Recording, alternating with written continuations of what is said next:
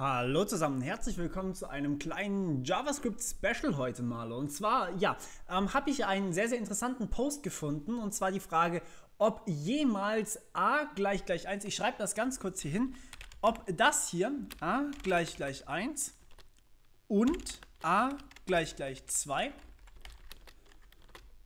und a gleich gleich 3 ob das jemals zu True auswerten kann. Das Ganze war eine ähm, Jobfrage, das heißt im Vorstellungsgespräch wurde das tatsächlich hier gefragt und ja, das ist natürlich jetzt eine sehr, sehr interessante Fragestellung.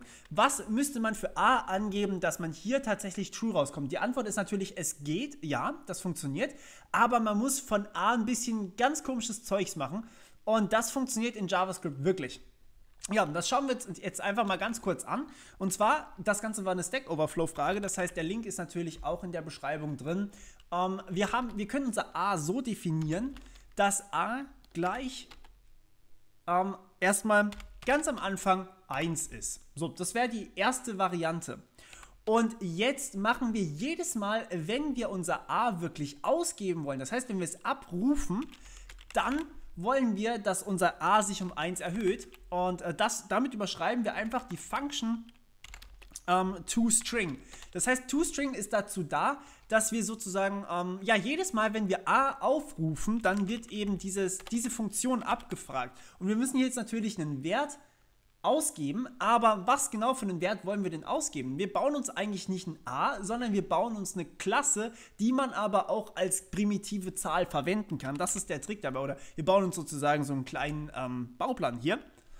Und ja, das ist sozusagen wirklich alles, was wir jetzt hier machen müssen. Wir müssen also nur sagen, wir haben jetzt nicht einfach ein primitives a, also nicht einfach nur eine, eine, eine, Ganzzahl oder sowas, sondern unser a ist ein komplexerer Datentyp, der hier jetzt i gleich 1 hat, also i auf den Wert 1 setzt und dann aber die Funktion toString überschreibt. Das heißt, jedes Mal, wenn man a aufruft, dann wird hier eben nicht einfach nur keine Ahnung, irgendwas komisches ausgegeben oder nur 1 ausgegeben, sondern wir geben halt jedes Mal genau diese Zahl aus und danach erhöhen wir diese Zahl. Und das führt tatsächlich dazu, ähm, gut, ich meine, jetzt haben wir tatsächlich nichts ausgegeben, aber jetzt haben wir erstmal unser A definiert und das führt dazu, dass, ups, ja, das wollte ich auch nicht schreiben. Das führt jetzt hierzu, dass wir ähm, irgendwas ausgeben können. console.log äh, hello world oder sowas. Und ja, wir sehen hier, Hello World wird ausgegeben tatsächlich. Das heißt, wenn wir jetzt hier das vergleichen, was passiert dann eigentlich? Naja, als allererstes fragen wir ab, ob a gleich 1 ist. Wir geben im ersten Schritt a.i zurück. Das heißt, wir geben hier tatsächlich 1 zurück. Dann sagen wir, während wir quasi erhöhen, der Wert ist schon zurückgegeben, aber direkt nach dem Erhöhen sagen wir, i soll sich bitte um 1 vergrößern. Und das machen wir auch. Und im nächsten Schritt, also das hätte man natürlich auch leichter machen können, man fängt hier mit 0 an, dann vergrößert man hier oben unser a.i vor dem Return um 1. Das wäre natürlich auch gegangen, wäre aber zu einfach. Außerdem wollte ich jetzt einfach mal die Antwort hier komplett übernehmen, damit ihr auch sozusagen eine Quelle habt. Und ja, ich gebe die natürlich hier unten ähm, direkt an in der Beschreibung. Und genau, im zweiten wird dann hier natürlich der Wert von a wieder überprüft. Das heißt, wir haben jetzt im ersten Schritt zwar 1 zurückbekommen, haben hier aber gesagt, wir erhöhen es. Das heißt, intern ist jetzt i hier auf 2 gestiegen.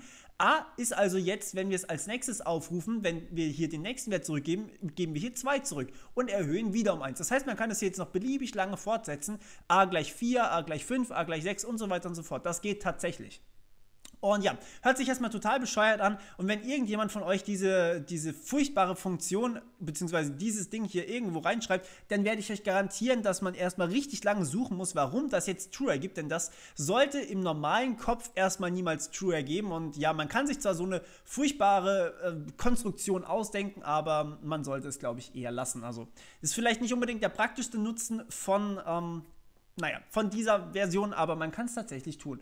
Und ja, ich dachte mir, das muss ich euch auf jeden Fall mal zeigen. Gut, das war's von meiner Seite. Wir hören uns beim nächsten Mal. Bis dann. Ciao.